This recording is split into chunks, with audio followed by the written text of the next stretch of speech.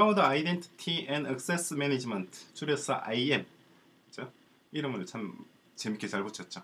IAM입니다.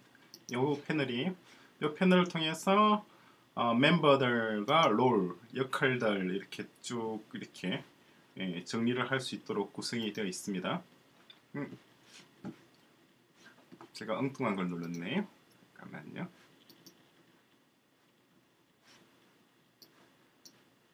요거는 좀 제껴놓고 이렇게 자 보시면은 밑에 이렇게 클라우드 뭐 machine learning service agent data flow 이렇게 쭉쭉 뭐 쭉쭉 여러 가지 editor들도 있고 owner도 있고 그렇게 돼 있어요.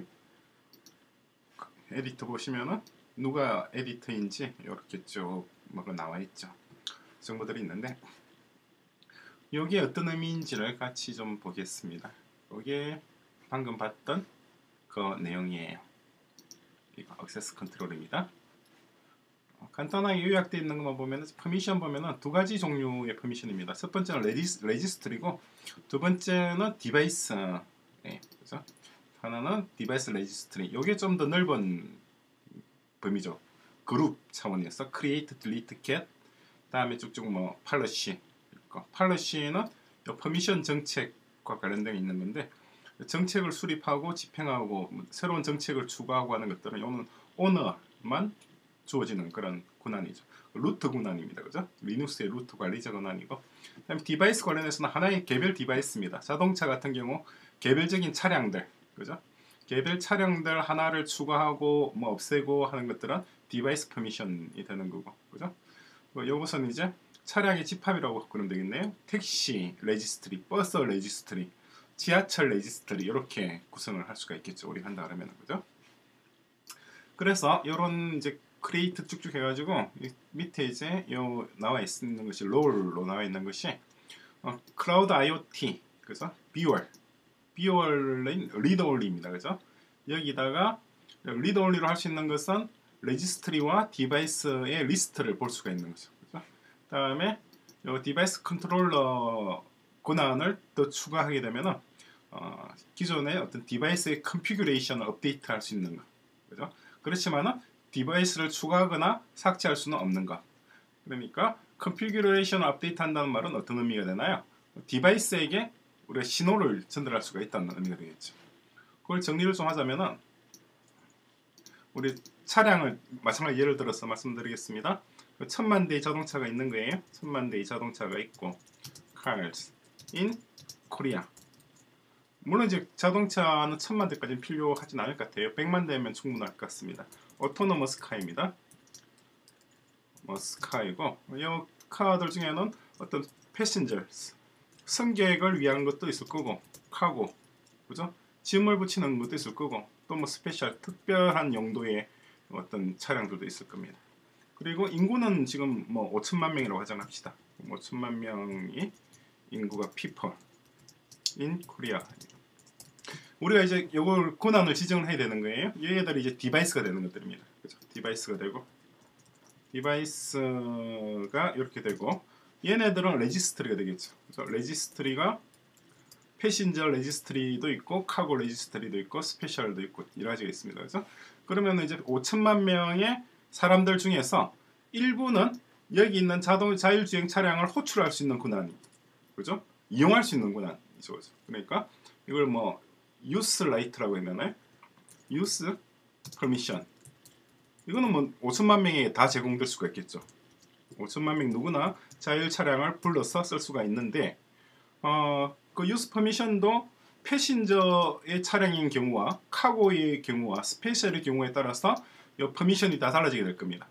그렇죠? 어떤 사람들은 passenger에 대해서는 5천만 명이 다 권한을 가지고 카고는 특별한 게 선택된 사람들 special 역시도 선택된 일련의 사람들에게만 그 permission을 우리가 제공을 해야 되죠. 그렇게 할 수 있도록 구성이 되어 있습니다. 지금 요, 요 IM 섹션 이런 것들이 우리가 또 이거 이거 팔러시를 만드는 거예요. 그것이 이제 팔러시입니다. 개념이. 그 내용이 팔러시. 이런 팔러시를 만들 수 있는 권한은 오너에게 주어지는 거죠. 오너는 여기서 보면은 롤 그래서 새로운 권한을 추가하고 싶다 할 때 add에서 select 그래서 멤버 예를 들어서 뭐 어, 누구랄까요? 주피터랄까요? 주피터 at gmail.com 을 추가를 하고 그죠?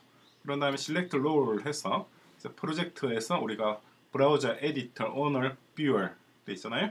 요 각각의 권한이 조금 다릅니다. 어, 다르긴 한데 어, 브라우저 권한과 view 권한은 좀 비슷한 것 같고 제가 보기에는 아직까지 테스트 안 해봤습니다. 큰 차이 없고 그다음에 그다 그것보다 높은 권한이 에디터 그리고 완전한 권한이 오너 권한이 됩니다. 그죠? 그래서 정책을 만드는 거 팔러시를 하는 거는 오너 권한이 되는 거예요. 그래서 어떤 퍼미션이 어떤 차량들에게 제공될 수 있는지 어떤 사람들이 어떤 권한을 가질 것인지 그것을 규정하는 것이 팔러시입니다. 그죠? 이 팔러시를 작성하고 집행하고 수립하고 뭐 갱신하고 하는 것은 오너 권한에 한해서 할당이 되는 거죠. 그래서 어, 이 상당히 우리 이제 프로그램을 작성할 때 상당히 재밌는 부분들이 몇 가지 있는데 첫째는 어, 커뮤니케이션 이 종류가 있는데 커뮤니케이션이 발생하는 것이 첫째는 자동차와 자동차들 사이에 커뮤니케이션 있어야 됩니다. 그래야지 충돌을 피하죠. 사고가 안 나죠. 두 번째는 자동차 차량과 사람 사이에 있죠. 그래서 사람이 특정 차량을 불러서 내가 지금 어디 제주시에서 서귀포시로 건너갈 테니까 빨리 와라. 지금 나 있는 대로 와라. 이거는 자동차와 사람 사이의 커뮤니케이션이 될 것이고 다음에 사람과 사람 사이의 커뮤니케이션 이것도 필요하죠. 그죠? 이 경우는 주로 이제 각자의 스마트폰을 통해서 통신을 하겠죠. 뭐 목소리 목청을 높여서 얘기하는 것보다는 이게 조금 더 좀 배운 사람 듯한 느낌을 주잖아요. 스마트폰을 이용해서 서로 대화를 하는 거죠. 그러니까 스마트폰과 스마트폰을 통해서 대화하는 거나 카와 카가 서로 대화를 하는 거나 car와 human, human 역시 또 스마트폰으로 되는 거잖아요. 그죠? 결국은 어떻게 되나요? 결국은 다 모든 것이 다 커뮤니케이션은 결국은 device to device가 되는 거죠. device to device communication이 됩니다. 그죠?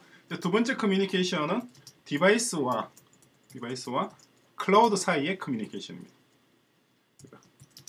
클라우드 사이의 커뮤니케이션. 그게 우리가 이전에 봤던 뭐가 있었나요? configuration, configuration과 그리고 state가 있었죠.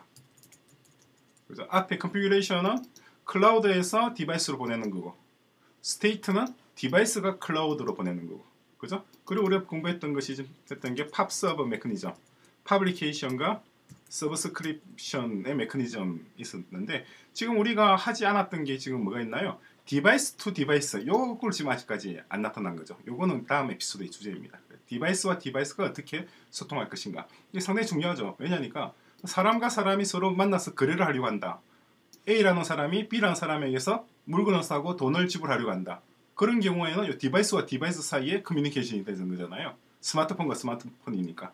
그죠? 요걸 어떻게 할 것인지 이제 이 경우에 public key와 private key를 어떤 식으로 할 것인지 direct로 서로 소통할 것인지 아니면 intermediary 서버를 두고 소통할 것인지 그런 것들 우리가 다 어, 이어진 에피소드에서 살펴보게 될 겁니다. 자 그리고 이제 해서 보시면은 보면은 이 viewer 있고 device controller, provisioner 그죠? provisioner는 어 뭐라고 해야 되나요? 어, registry에서 device를 추가하거나 삭제할 수는 있지만 registry 자체를 추가하거나 삭제할 수는 없는 권한이 provisioner입니다. Editor는 provisioner보다 높아요. registry 자체도 추가하거나 삭제할 수 있는 그런 권한이 editor가 되고 그리고 admin 혹은 owner라고 하는 것은 어떻게 되나 얘는 좀 전에 말씀드린 그 policy를 세우고 policy를 만들 수 있는 권한이죠. 그렇죠? 그렇게 해서 어, policy를 설정하는 방식 방금 봤던 그 화면입니다. 요 들어가 보시면은 요 메뉴입니다. access control 메뉴 지금 말씀드리고 있는 거예요. 보면 요거 열어보시면은 좀 전에 봤던 그 화면을 그대로 보실 수가 있습니다. 그리고 어, 요거 저또 policy 텍스트 이거 만드는 텍스트 설정하는 방식 이렇게 쭉 나와 있는데 요거는 또 밑에 데모가 있으니까 데모 애플리케이션 보면서 요거 데모 있잖아요. 샘플들 요거 쭉 훑어보고 혹시 빠진 부분이 있으면 다시 한번 같이 보도록 하겠습니다.